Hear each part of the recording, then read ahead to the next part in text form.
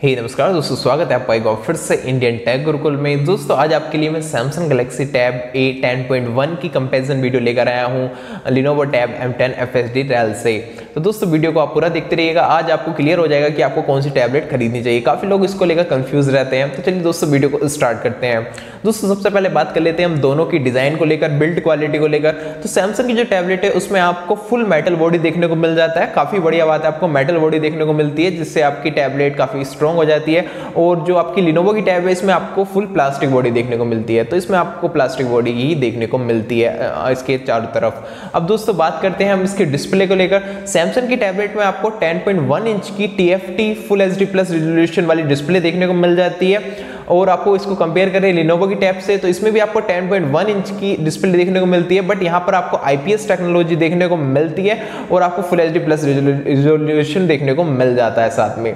तो दोस्तों डिस्प्ले के मामले में भी ऑलमोस्ट सेम सेम से हैं। अब बात करते हैं दोस्तों, बैटरी को लेकर। बैटरी आपको जो सैमसंग की टैबलेट में देखने को मिल जाती है तो वो दोस्तों आपको 6150 mAh की देखने को मिल जाती है। अगर हम इसको कंपेयर करें लिनोवो की टैब से तो उसमें आपको 7000 mAh की बैटरी को देखने को देखने को मिल जाती है। तो बैटरी के मामले में लिनोवो की टैब बेहतर है। अब दोस्तों बात करें हम प्रोसेसर को लेकर तो जो आपकी सैमसंग की टैब में 9611 एक्जिनोस का प्रोसेसर देखने को मिल जाता है, जो कि एक काफ़ी आपको एक अच्छा प्रोसेसर मैं कहूँगा टैबलेट के हिसाब से देखने को मिल जाता है। उसमें आपको ए की कोर्स भी देखने को मिल जाती है, जो कि काफ़ी पावरफुल कोर्स हैं। आपकी गेमिंग वगैरह उसमें जो नॉर्मल है, काफ़ी बढ़िया तरीके से हैंडल कर लेगा। अब इसको कंपेयर करें हम लिनोवो की टैब से तो लिनोवो की टैब में दोस्तों आपको स्नैपड्रैगन का 450 प्रोसेसर देखने को मिल जाता है, जो कि एक आपको बेसिक प्रोसेसर देखने को मिल जाता है। मैं कहूँगा इसमें आपको गेमिंग वगैरह इतने अच्छे से नहीं कर पाएँगे। आप नॉर्मल गेमिंग कर पाएँगे, बस बेसिक क्वालिटी की फॉर एग्ज़ाम्पल सब सर्वर्स वगैरह।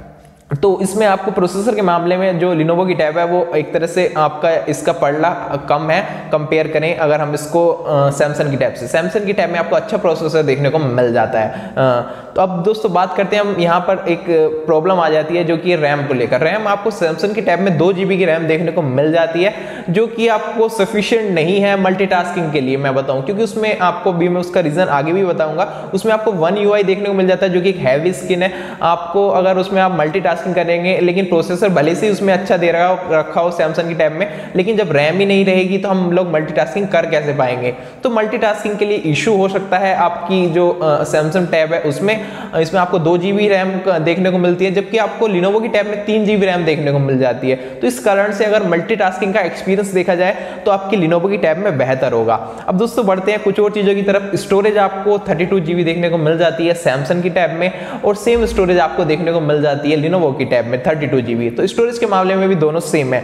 और स्पीकर की बात करें तो दोस्तों आपको डुअल स्पीकर देखने को मिल जाते हैं दोनों ही टैब में और स्पीकर डोल्बी एटमोस के साथ आते हैं तो साउंड क्वालिटी आपको अच्छी देखने को मिल जाती है सराउंड साउंड वगैरह देखने को मिल जाती है। लेकिन दोस्तों एक प्रॉब्लम है लिनोवो की टैब जो है उसके स्पीकर इतने अच्छे नहीं है, मैं आपको बता दूँ क्लियरली कंपेयर अगर करते हैं हम सैमसंग की टैब से। अगर आपको स्पीकर के लिए कोई टैबलेट चाहिए मूवीज़ वगैरह देखने के लिए तो सैमसंग की टैबलेट डेफिनेटली बेहतर है। उसके स्पीकर उसमें काफ़ी बढ़िया देखने को मिल जाते हैं कंपेयर करें, हम इसको लिनोवो की टैब से। कुछ और चीज़ों के बारे में बताऊँ, आपको इसमें 3.5 पॉइंट mm का जैक दोनों ही टैबलेट्स में देखने को मिल जाता है। साथ में आपको टाइप सी का सपोर्ट देखने को मिलता है सैमसंग के वाली टैब में। वहाँ पर आपको टाइप सी का सपोर्ट देखने को मिलता है बट वहाँ पर आपको फाइव बोर्ड की चार्जिंग देखने को मिलती है टाइप सी के ऊपर। जबकि अगर हम कंपेयर करें इसको लिनोवो की टैब से तो लिनोवो की टैब में आपको दस वोट की चार्जिंग देखने को मिलती है। दोनों के चार्जर इनबॉक्स आपको देखने को मिल जाते हैं। साथ में आपको लिनोवो में माइक्रो यूएसबी का सपोर्ट देखने को मिल जाता है। तो ये हो गया दोस्तों, एक तरह से फुल कंपैरिजन और एक चीज़ और मैं आपको बताना चाहता हूँ। जो आपकी लिनोवो की टैब है, उसमें आपको स्टॉक एंड्रॉइड का सपोर्ट देखने को मिलता है। प्योर एंड्रॉइड है, कोई आपको ब्लोडवेयर्स देखने को नहीं मिलते, कोई एक्स्ट्रा एप्स आपको देखने को नहीं मिलती। और अगर हम इसको कंपेयर करें हम सैमसंग की टैब से तो सैमसंग की टैब में आपको जो सैमसंग की वन यू है, वो देखने को मिलती है। तो एक हैवी स्किन है, जिसके कारण परफॉर्मेंस में आपको दिक्कत आ सकती है। क्योंकि उसमें रैम भी आपको कम देखने को मिल जाती है। अब दोस्तों मैं फाइनल आपको बताता हूँ कौन सी टैबलेट इस किन लोगों के लिए बेहतर रहेगी।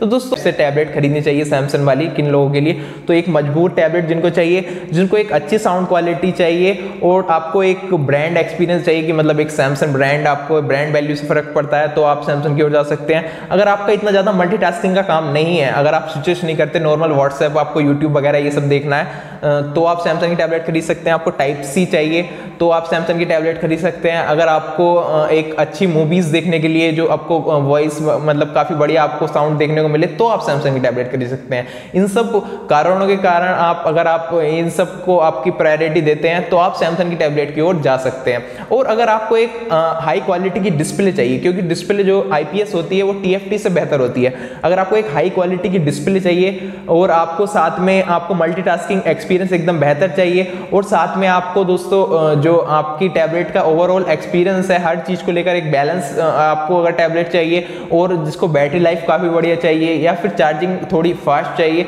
तो आप इन सब पॉइंट को कंसिडर कर कर लिनोवो की टैब की ओर जा सकते हैं। Lenovo tab M ten F दोनों की प्राइस ऑलमोस्ट अब सेम हो गई है। आपको तेरह हज़ार के आसपास दोनों टैबलेट्स देखने को मिल जाती हैं। बस आपको वाईफाई और फोर वाले वेरियंट में थोड़ा देखना पड़ेगा, उसमें एक दो हज़ार ऊपर नीचे होते रहते हैं। बाकी लिंक मैं डिस्क्रिप्शन में प्रोवाइड करा दूँगा।